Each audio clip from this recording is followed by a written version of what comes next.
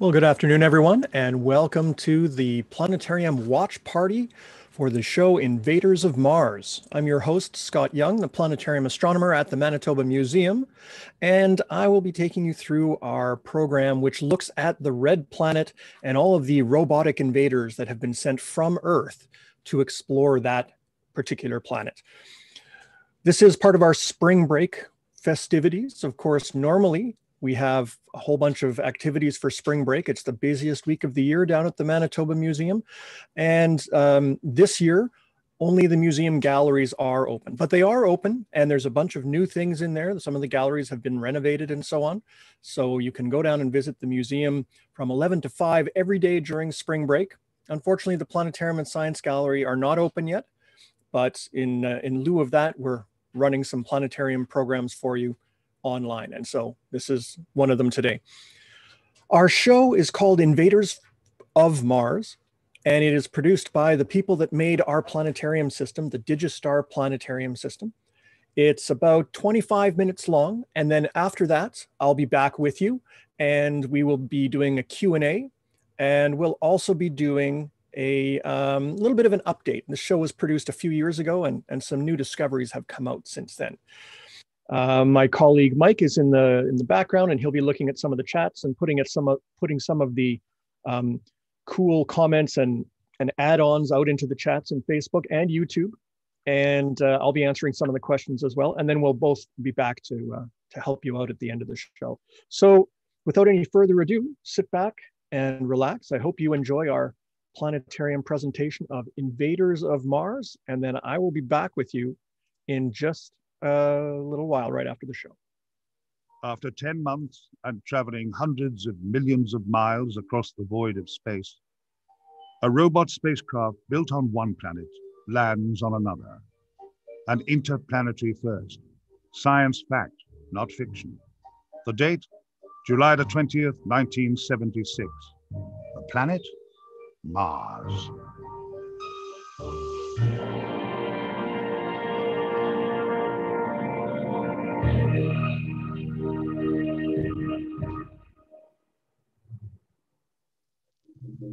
To the Babylonians, it was Nergal, god of death and destruction. Its distinct red color signified blood and violence. In Norse mythology, it was Tyr, god of combat and heroic glory, after whom we named the day of the week called Tuesday. For thousands of years, this planet intrigued early sky watchers, and our fascination continues to this day. We call it after the name of the Roman god of war, Mars.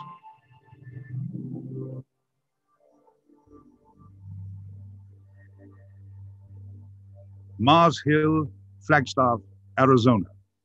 Observations made here would color our ideas of Mars for over half of the 20th century. Astronomer Percival Lowell built a giant telescope here specifically to study the red planet. He dedicated over 15 years of his life attempting to solve the mystery of its changing appearance. Before Lowell's observations, it was known that Mars was about 4,000 miles across, rotated once in just over 24 hours, and had a year almost two Earth years in duration. Intriguingly, it also appeared to have seasons. At its closest, it was a mere 35 million miles away. Gazing through his telescope, Lowell carefully studied the different views that Mars presented him from day to day and month to month. Of course, this was no easy task. Earth's atmosphere caused the image to constantly shimmer and weave around. It was quite a challenge for the human eye to spot such elusive surface details. Still, Lowell was not deterred. He painstakingly recorded fascinating scenes, polar caps that shrank and expanded, changing dark areas, and long lines that joined them all together. He was certain that he had observed lines of vegetation planted on the banks of giant canals. Canals that brought water from the poles to irrigate the planet's vast deserts. and that all of this was built by Martians.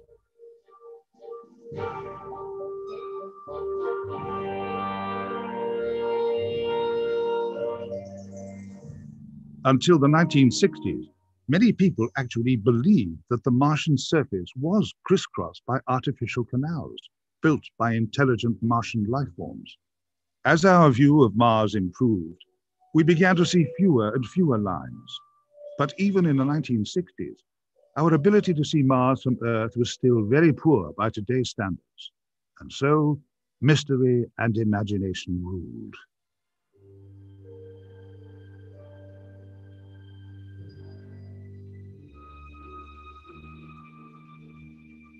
Imagine the surprise and disappointment when in July 1965, the Mariner 4 spacecraft flew past Mars and revealed a cold, lifeless world. As it sped past the planet, its primitive camera beamed to Earth scenes of a beautiful desolation. No canals, no cities, no vegetation, no Martians. Other sensors recorded freezing temperatures and an extremely thin atmosphere. An apparently dead world in a deep freeze.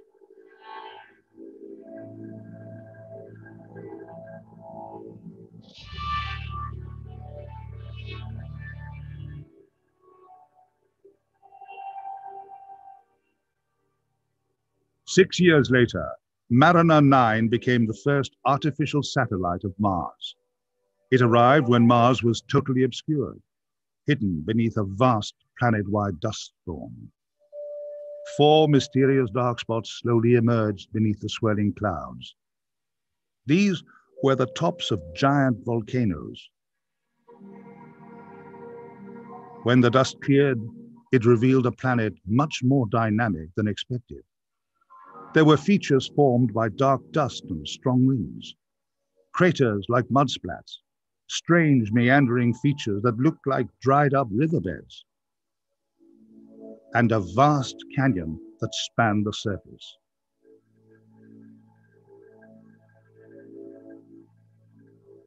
Mariner revealed an exotic planet with an interesting past and an even more exciting future for exploration.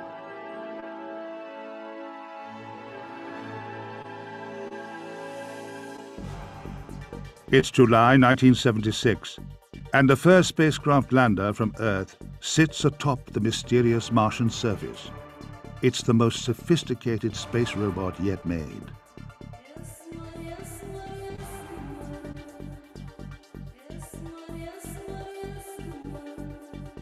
Within minutes, its scanning cameras slowly construct the first pictures from Mars.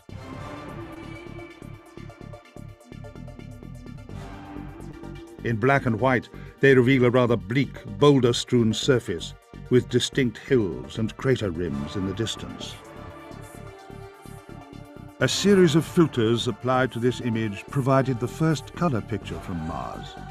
It revealed an amber sky with dusty clouds high in the super-thin atmosphere. In color, it was a much more welcoming world. Six weeks later, Viking 2 landed 4,000 miles away on top of a small rock and almost tipped over. This landing site was nearly identical. Boulders covered with tiny holes, volcanic in origin, litter the surface. Both landers searched for traces of life in the soil, but all the results were disappointingly negative. The soil itself was mostly sandy silicon with lots of iron oxide, essentially rust which gives Mars its red color. The carbon dioxide atmosphere was found to be 100 times thinner than Earth's, but still thick enough for weather to occur. Each Viking spacecraft consisted of a lander and an orbiter. The electronic eyes of the orbiters allowed us for the first time to experience the planet's features in considerable detail.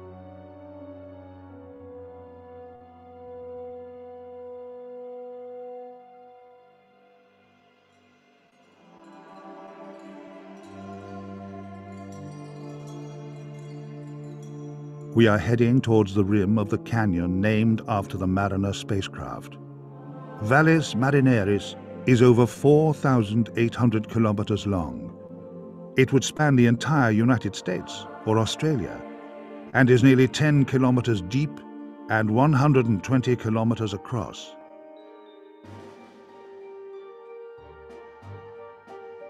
The entire Grand Canyon of Arizona would easily be lost in just one of its tributaries. In fact, canyon is far too small a word to describe this chasm.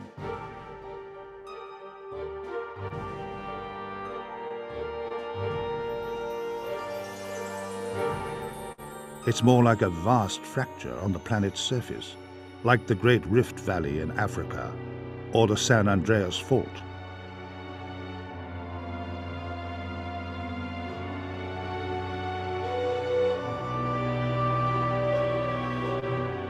Here the planet was torn apart by great stresses, probably emanating from the huge volcanic structure nearby, known as the Tharsis Ridge.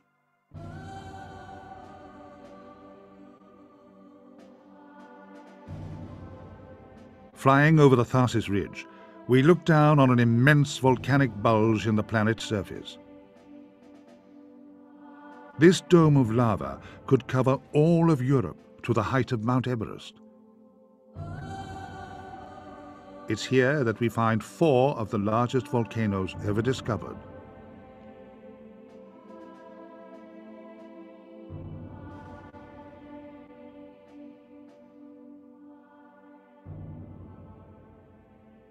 The most striking of them all is Olympus Mons, the biggest, broadest, tallest volcano in the solar system so far.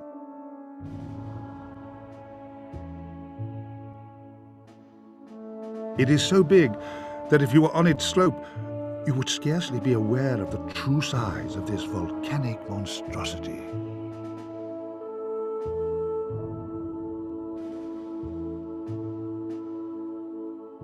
It has a vent at the top into which you could fit Los Angeles and still have room to spare.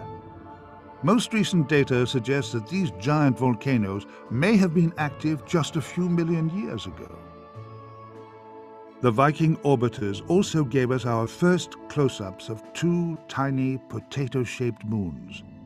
Both skim relatively close to the Martian surface and are, most likely, captured asteroids. Both are regarded as good landing spots for future Mars exploration missions.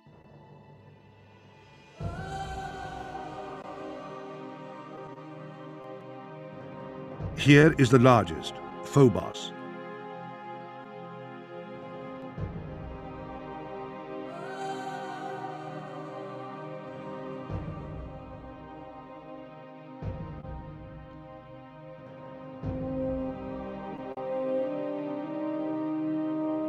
This captured asteroid is about 22 kilometers across, with gravity so light that an average human would only weigh a couple of ounces.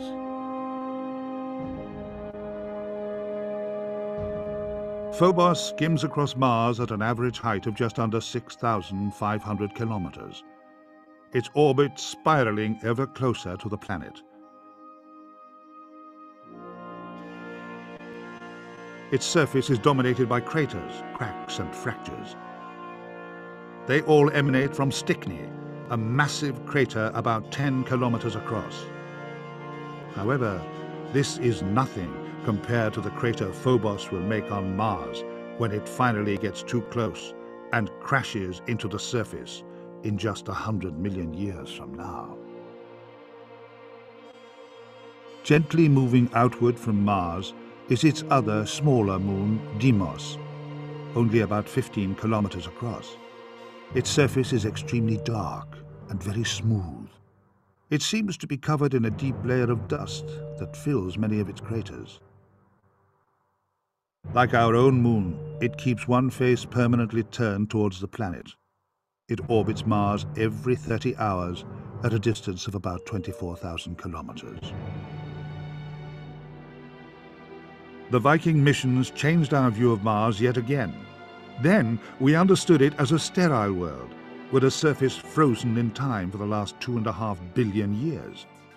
This was the accepted scientific opinion for the next 20 years.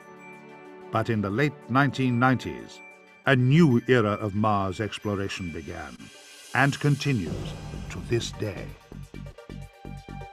From Earth, we launched an armada of landers, rovers and orbiters. Mars was invaded as never before, and the new data we found started to reveal even more of its deep secrets.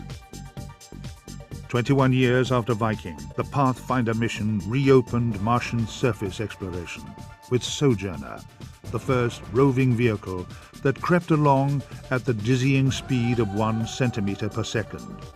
That's one kilometer in almost 12 days. This mission also carried a new strategy for Martian exploration.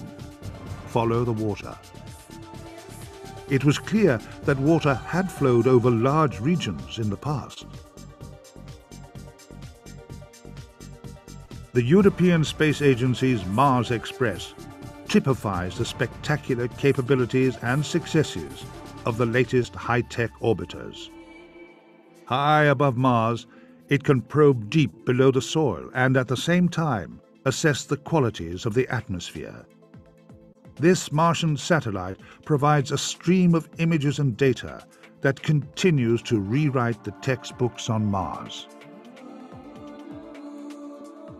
While the cameras relay their exquisite pictures, the other instruments have been conducting their own unique investigation. Traces of methane have been detected in the atmosphere, and this could indicate that volcanic activity or even primitive life forms exist today. Other data reveals landscapes hidden beneath the surface terrain.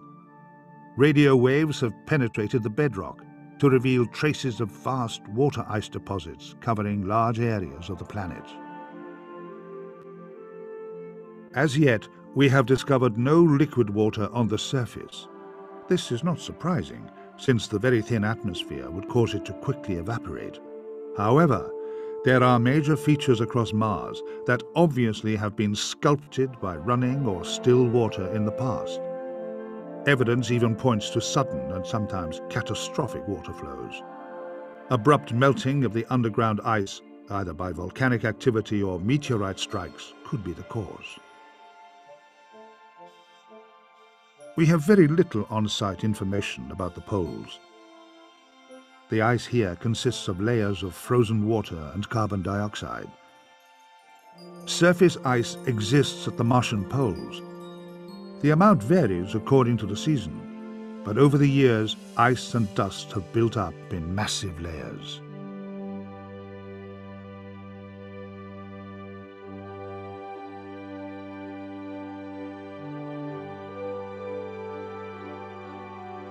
Measurements show that at the southern pole there is sufficient water ice to flood Mars to a depth of over 30 feet.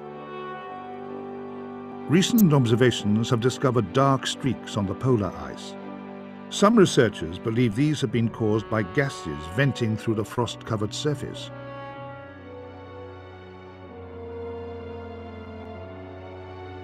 Could they be carbon dioxide geysers firing dark dust into the air? We don't know for sure, but it is an intriguing idea.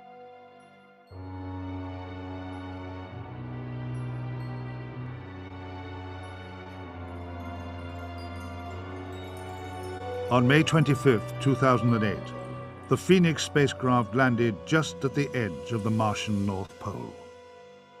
It will be able to drill deep into the icy soils and carries a tiny laboratory to test for organic compounds. Images of its Arctic surroundings will be beamed back to Earth. If all goes well, it will have about three months of life before it is entombed in the carbon dioxide ice of the polar winter. Temperature here is 200 degrees below zero. Further south, especially during summer, the temperature can be quite balmy at 50 degrees. Although the atmosphere is 100 times thinner than on Earth, the temperature difference between the ground and the air generates dust devils. These pockets of warm, rising air begin to eddy and swirl like a whirlwind. They pick up dust and debris and can become quite spectacular.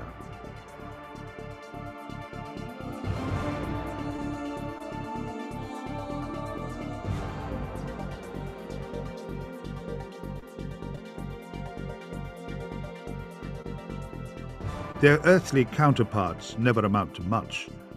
But just imagine if a dust devil in the Sahara could trigger a thunderstorm massive enough to cover the whole Earth. That's what's believed to happen on Mars, where a huge storm can cover the planet from pole to pole. Dust devils thrust up so much material that they heat up the atmosphere. This creates powerful regional storms that can spread quickly across the entire planet hiding Mars under a dusty blanket.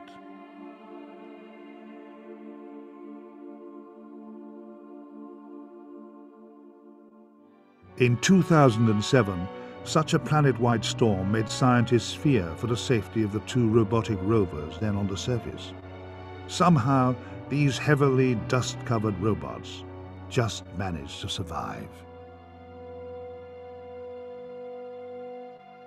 Named Spirit and Opportunity, they have traversed the surface since 2004. The images and data which they have sent back have helped us refine further the story of Mars and provide additional data for the more remote instruments on the orbiters. Their most exciting discovery was silica. Its presence suggests that hot water springs once existed.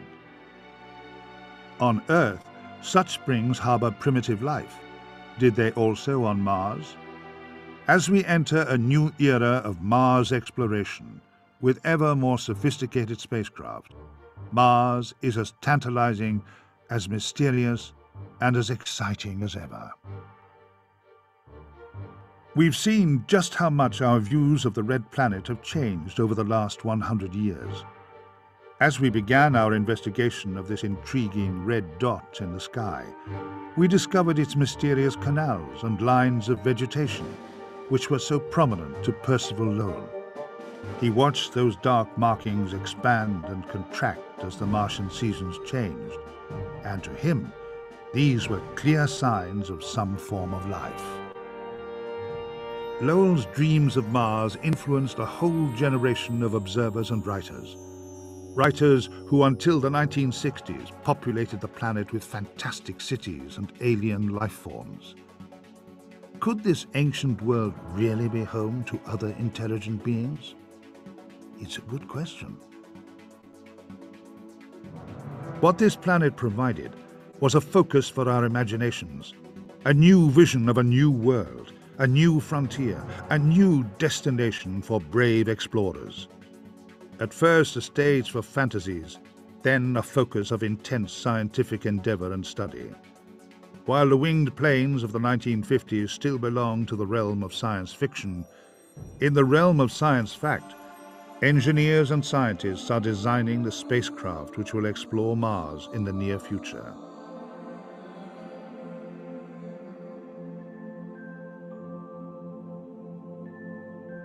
At first, there will be ever-increasingly sophisticated robots.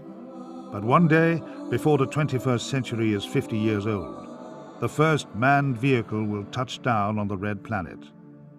It's possible that some of us here or our children will help design and build this craft. Others will crew it.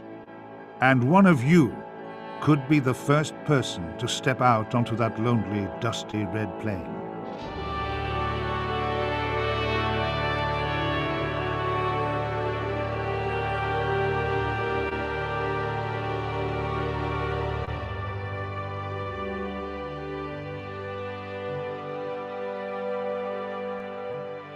The invaders of Mars will be humans.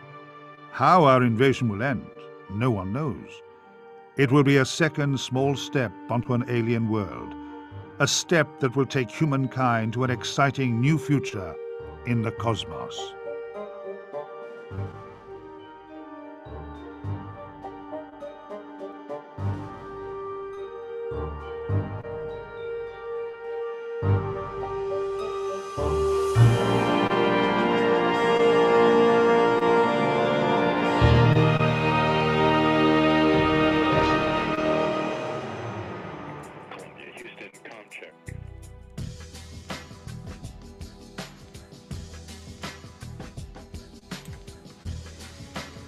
There we have Invaders of Mars, produced by Evans and Sutherland, and thank you very much for their permission to uh, allow us to run this. They've been a great supporter while the planetarium's been closed. We've been able to run a number of their shows for free online uh, programs like this so that people can stay in touch with the planetarium. We also um, would like to thank um, all of the folks that have been tuning in to our regular weekly show, Dome at Home, which is Thursday nights at 7 o'clock. That's sort of a live tour of what's up in the sky that's been running um, all the way from January, I guess, through March as part of the Manitoba Safe at Home grant program from the province of Manitoba. So that's all been fun stuff. We're going to be continuing programs uh, this Thursday again. Dome at Home has been extended for its second season, and that's going to be running uh, through April, May, and June at the very least. We're contractually obligated to let these credits roll out here. Um, and so, what we're going to do is, uh, as the credits roll out, we're going to talk a little bit about the current and future exploration of Mars. They talk about it there, but I mean the the show. I think it it went up to about 2010 in terms of the most modern probes and discoveries. And so, what we're going to be doing is looking at the more modern probes that have gone there and basically be able to see what's what's changed since this show was put together. Let's just switch over here. And there we go. So Mars, the planet, is a wonderful place to explore. It's got about the same land area that the Earth does. It's a smaller planet, but it doesn't have any oceans. It's all land at this point. And so it's kind of like exploring a whole new world in terms of the scale. And we've sent a number of robots to do that. No humans yet, but that'll be, you know, not too far in the future, we think. Right now, there, there are a number of orbiting spacecraft going around Mars. Some of them have been there for a decade or more. But these ones basically image the surface from above, but they also serve the purpose of sending radio signals back from the rovers that land on the surface. They can radio up to these satellites and then radio them back to uh, here on Earth. So that's how we can get a lot of our more modern information. The older spacecraft are still useful, not only for taking pictures, but also for exploring or um, bouncing the radio signals back to uh, back to Earth. We've landed a bunch of robots on Mars. We've tried to land even more. But the the more the two most recent ones are over on the right hand side there. Perseverance, or Percy for short, is the one that landed in February. Brand new robot crawling around on Mars. We'll talk about uh, Percy in a moment.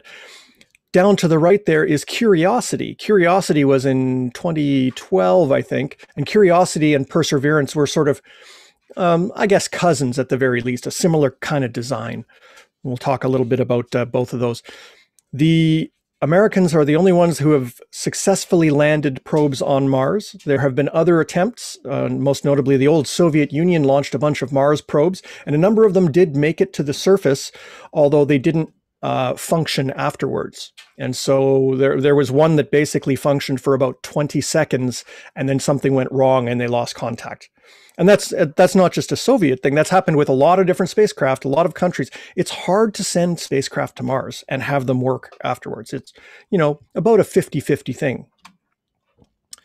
Here's uh, actually we just recently found what we think is one of those old soviet mars landers. The the orbiting spacecraft can can get really high resolution views and we think we might have might have found one of those but unfortunately we can't say for sure because just don't quite have the resolution.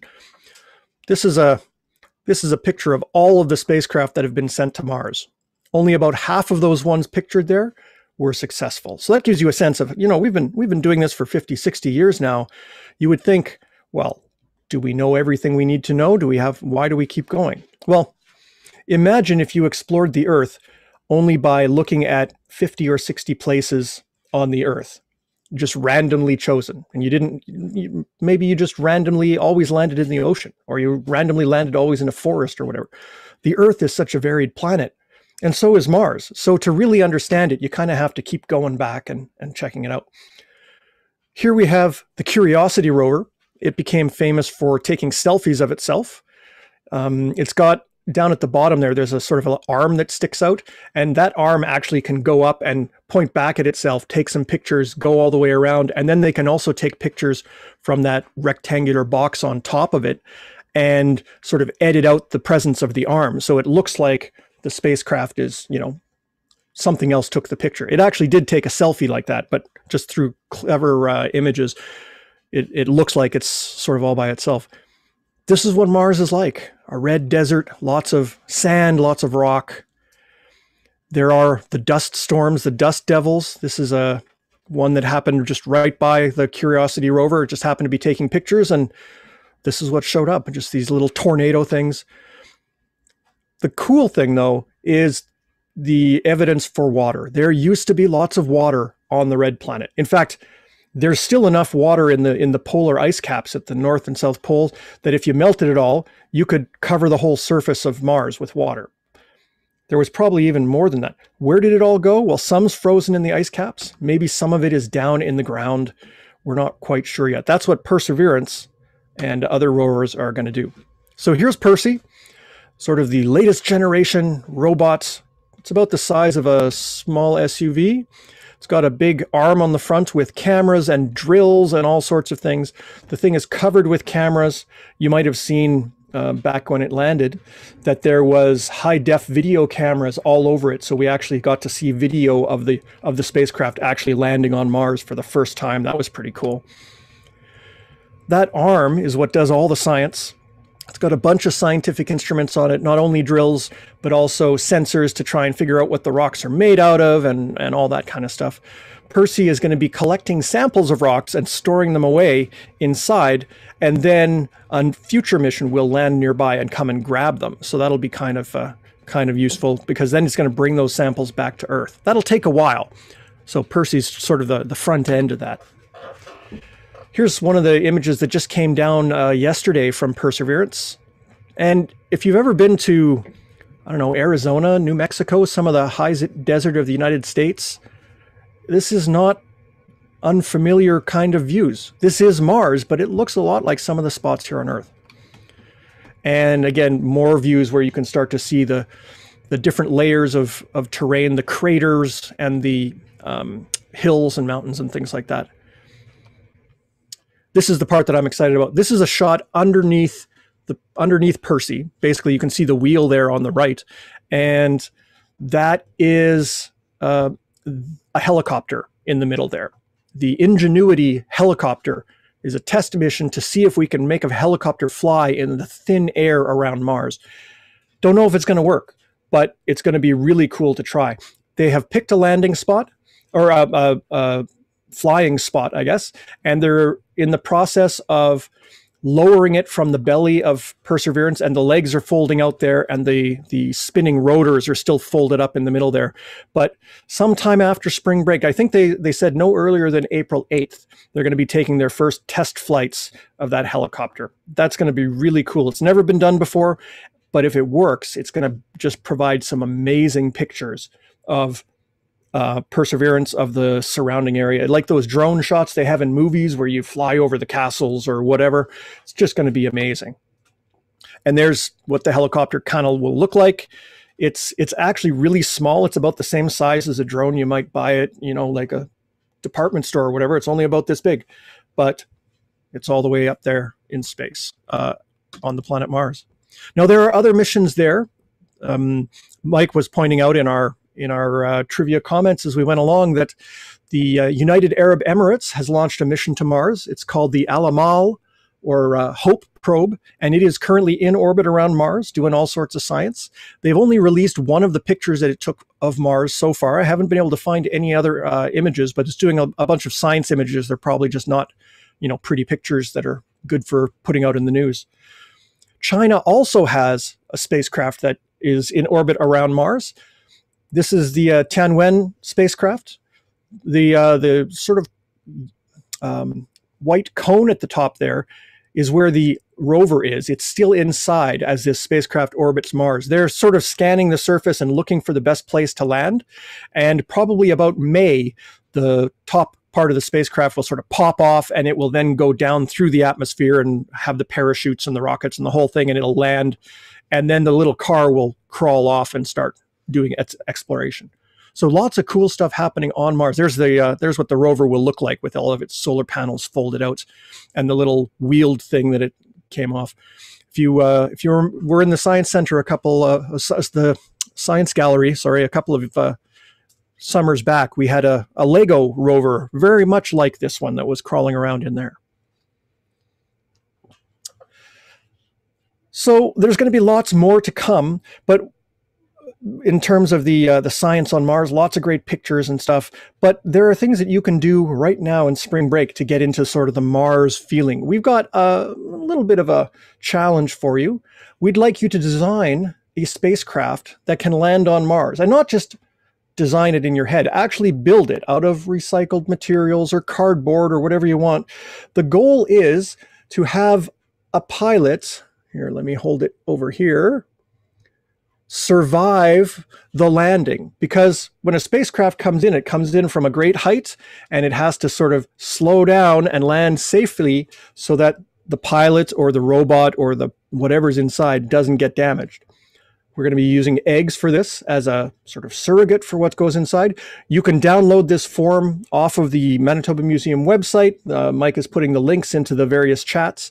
And it basically gives you a challenge. We've had a few people um, already complete this challenge and send in some video of their various um, types of uh, experiments. We had uh, a couple of folks build one with no parachute and drop it from a height and uh, it actually survived. They, they had to spend a bit of time getting the pilot out of there. Other people have tossed their spacecraft out the window. Whatever you can do to make your your uh, spacecraft test follow the rules there. There's some references there. It's a fun activity if you got some kids at home or if you're just interested in in doing this. It's it's a really fun engineering activity. Make sure you Put your little pilot in a plastic baggie though, just in case, you know, if something goes wrong, you don't want to get egg all over the place. All right. So, Mike, were there any questions there that I didn't uh, didn't get a chance to answer that you saw come up in the chats? Yeah, actually, we've yeah, got actually. Uh, uh, Patrick on uh, Facebook wants to know if there are northern lights on Mars. That is a great question. There are no northern lights on Mars. And the reason for that is that Mars does not have a magnetic field. Mars is a Mars is quite a small planet and the earth is big enough that it sort of keeps some of its heat at the very center. You know, the core of the earth is actually quite warm and um, because of that, that basically it get, in a complicated way that generates a magnetic field, a shield around the earth and it's the interaction of the sun and that magnetic field that makes the northern lights. On Mars, the planet is so small that the core basically has cooled off and become solid, and so there's no magnetic field being generated there. So all the radiation from the sun, instead of being blocked by the shield and then sort of pushed over to the North Pole to make northern lights, instead that radiation just hits the surface directly. And that's one of the big problems for sending humans to Mars. They get a lot more radiation than you do here on Earth. They don't have that kind of shield built into the atmosphere. So the fact that there's no northern lights on Mars actually helps us plan a little bit for the eventual human missions to get there. Good question. Yeah, it is a fantastic question. You got any others? Uh, yeah. yeah. I've got a question uh, from uh, YouTube, uh, just sort of asking about how we've been able to test out some of these lander craft and know that they'll work uh, and operate on the surface of Mars? That is a good question. Um, the early ones, they didn't really know what to do, and they just tested them by sending them to Mars and seeing if they survived. And that's kind of why the the rate of of success was not very high. But in more modern days, they do a lot of testing. They, they actually have tested, for example, the Ingenuity helicopter. They take it up to a high altitude, like up onto a mountain where the the thinness of the air is a little bit more like the thin air on Mars, and they do tests there. Um, the parachutes, for example, the parachutes that have to pop out and, and allow these things to land on Mars are tested using Black Brant rockets, which are built right here in Winnipeg. And they basically launch them up in a rocket just so that they can fire the parachute out at the right speed to sort of simulate what it would be like coming into the Martian atmosphere. And the, the parachutes worked perfectly. So that testing really, really paid off. So there's that there's that Winnipeg and Manitoba connection to the uh, the Mars probes. Some of the other things, the cameras, the computers, they get tested on other space missions. Sometimes they get tested up on the International Space Station, and sometimes they're just brand new. Like Ingenuity, the helicopter, it's been tested as much as we can on the Earth. They still don't know if it will take off or not. They hope it will, they think it will, but you just can't test for everything, unfortunately. And so sometimes you test it uh, during the mission. And if it doesn't work, that helps you for the next time. We've got another question okay. from Facebook. Uh, if you're okay with that, Scott. Of course. Yep. Yeah. Okay. Keep them coming. Uh, is there is there evidence that the volcanoes are still active on Mars? Well, they're not active anymore. We're pretty sure of that because we haven't seen any evidence of eruptions. We think that they may have been active in the geologically recent past. So, like tens of thousands of years ago, as opposed to, say, a billion years ago. But that's still, from, from my point of view, tens of thousands of years ago is still a long time. So, again, because Mars is smaller, it lost a lot more of its of its heat in the center, and so all of the magma, all of the lava that would have been, you know, able to sort of squirt out of a volcano, has pretty much already solidified. And so we don't expect to see active volcanoes on Mars at this point. Great, yeah. Uh, that's pretty much the questions I've seen so far. But Scott, maybe we could touch a little bit on how we communicate with uh, the orbiters and rovers. Uh, there's quite a challenge with that, and I think uh, it's important to understand just uh, what's sort of the what's sort of the, the procedures for how we uh, talk and, and communicate with our rovers. Yeah, it's a great it's a great point because Mars is really far away. Right now Mars is about 200 million kilometers away from the Earth and you can't just, you know, grab a joystick and sort of drive your remote control car around because the signals take about 7 minutes to get from here on Earth where you make the command before they get to the rover because the signals are traveling at the speed of light and even though the speed of light is really, really, really fast, it still takes seven minutes to get there. So imagine if you're driving your car here down the street and there's a seven minute delay between you seeing something and you being able to turn the steering wheel. That's not going to work, right? So um, basically, they upload a bunch of commands and then they wait to see the results and then they upload a bunch more commands and they wait to see the results it's very very very slow you, I, I, think they were talking about how um, the first rover went something like a centimeter an hour something like that so it's really moving quite quite slowly the other thing they do with the more modern rovers like percy it's basically a robot it basically you tell it where you want it to go and it figures out by looking at its own cameras, by measuring the distances to, to the rocks, by figuring out which is the smoothest uh, route, it figures out how to get there and it does it all itself. And so if it gets into a spot where it gets stuck, it knows to stop and to back up and to do those kinds of things. So it's really kind of autonomous. It's it's making decisions all on its own without needing that you know that NASA mission control person who's seven minutes away to intervene. Nice.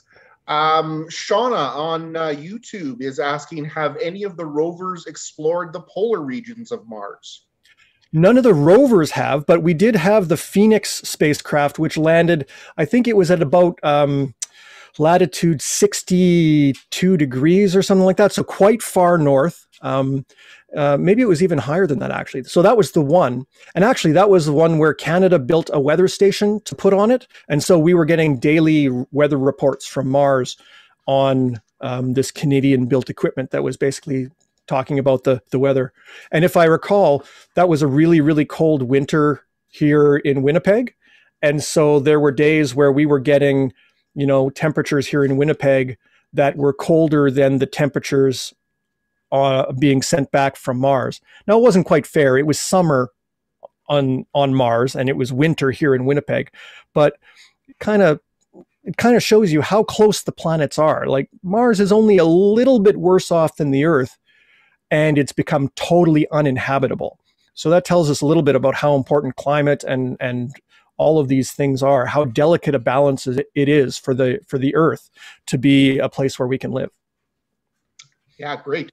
Uh, and just to confirm, Phoenix landed at latitude 76 degrees north.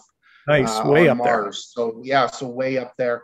Um, I, I, think uh, not seeing any questions, but I, we still got uh, a little bit of time if anyone wants to put them in the chat. But maybe Scott, you could talk about. I mean, we've learned a lot about Mars by sending craft there, uh, but we can also learn a lot about it by what it's sending us, sort of. Uh, and of course, I'm talking about meteorites. Uh, do you want to just touch on that? And I think people might be interested to learn that method of how we've learned about the red planet.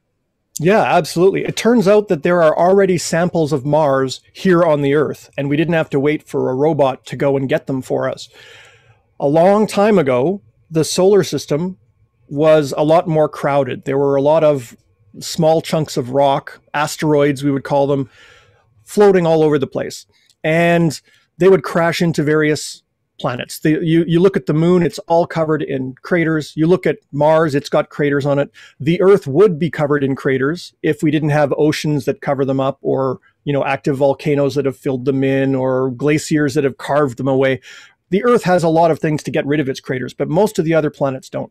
So these craters cover the solar system. Some of the impacts were big enough that say when the rock comes in and explodes it sends other pieces away from the planet and they actually can be moving fast enough to escape. So something hit mars a long time ago and blew some pieces of mars out into space where they basically started orbiting the sun like a little miniature planet. And it just so happened that the orbit that they were on intersected the orbit of the earth. And one day we were in the same place at the same time, and that piece of Mars crashed into the Earth, hurtled through the atmosphere, and landed and sat there for who knows how long. It might might have been millions of years, and uh, then it was found.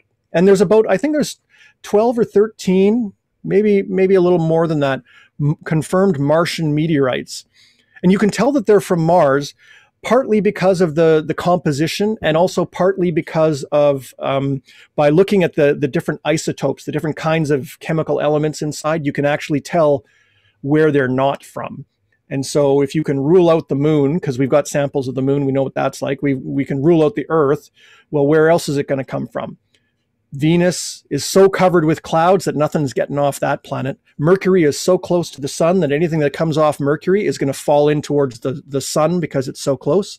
The only other place basically is either an asteroid or Mars. So we've got these Martian meteorites and yeah, like like Mike said, you know, we've we've already got these pieces.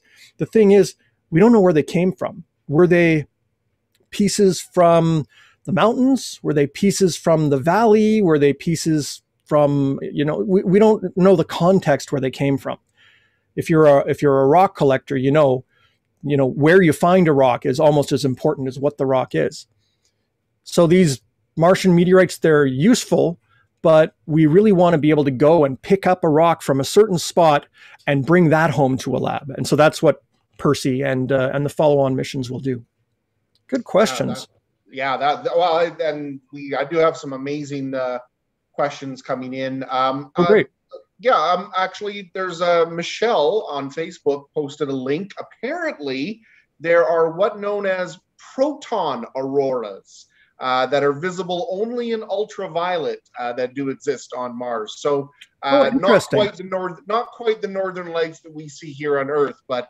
uh, they were just uh, discovered just a couple of years ago. So um, yeah, some fascinating things there. Let's uh, let's talk about um, the future of Mars missions. I mean, we mentioned you know the idea that we'll get some that are returning back with samples. I'm sure a lot of our audience is curious to know about when will humans get there how will they what are the challenges uh, i know that a lot of this still kind of is in the realm of science fiction but it's it's getting up there and just wondering about your thoughts and uh, a quick analysis of that yeah you know going to mars is a really difficult job but it's not it's not the rocket side. I mean, the, basically the same kinds of rockets that we've built to take people to the moon or the space station components or things like that. That would do to put a rocket together. I mean, you'd have to make it a little bigger and you'd have to fuel it up more and things like that. The biggest problem is the amount of time you have to spend there. Mars is about eight months away from Earth at the best of times. And if you want to come back on that only eight month trip, you have to wait 26 months between times. So you're basically talking about it's a three year trip. It's not it's not like a weekender or anything like that, like some of the moon missions. It is basically hitching up your wagon and going out to the west, and you're going to build yourself a homestead or die trying. And so that's a very different kind of space mission. Like, how do you pack three years of food into a spacecraft? There's there's no way. How do you pack three years of water? Well, we already know that you know on the space station they recycle a lot of their water, uh, pretty much all of their water, if you know what I'm saying. And so there are technologies that are being developed to help that. But food is a really difficult one. You can't recycle food. It, it, just doesn't work. There's only so much nutrient in the food. You have to be able to grow food. So what do you do? You take seeds along and you build a greenhouse? Well, the greenhouse has to already be there before you get there. So there's a whole bunch of things that have to happen before we put boots on Mars and actually send people there and walking around. And it seems ever since I was a kid, they always said, "Oh, in the next 25 years, we'll we'll be uh, walking on Mars." I remember hearing that in 1979 and 1984 and 1992, 2000, and now they're saying, "Well, you know, 20 years or so, we'll be walking on Mars."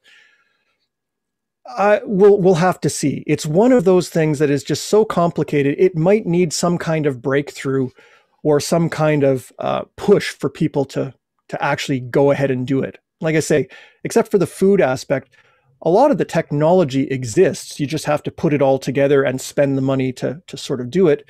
But it's very very dangerous because of that long time period. And um, so if we had faster rockets, so that you could like you know send a rescue mission if something went wrong, that would be great. But I mean, if if the if the ambulance isn't going to get there for three years after any accident, that's not really going to help. So I think it'll be a while before we have humans on Mars, but we're going back to the moon in the next number of years. That's going to be a good test. We're living on the International Space Station, learning about how to live in space for long periods of time. Baby steps. And uh, eventually, those baby steps will lead us to Mars. Yeah, fantastic. I mean, love to see it. And of course, we maybe have some young listeners on the uh, uh, on our uh, chat right now who uh, may be some of the first people to travel to Mars. So that's exciting uh, to think about. Uh, I think we got one final question. Uh, before I do, I just want to let our viewers know I'll be putting a link to a survey in the chat. We really do appreciate if you take the time to answer just a few questions about this program. Uh, but to wrap things up, Scott, a great question uh, on Facebook from Shiloh asking, What would you do? And maybe I'll expand it to what would humanity do if we find life on Mars?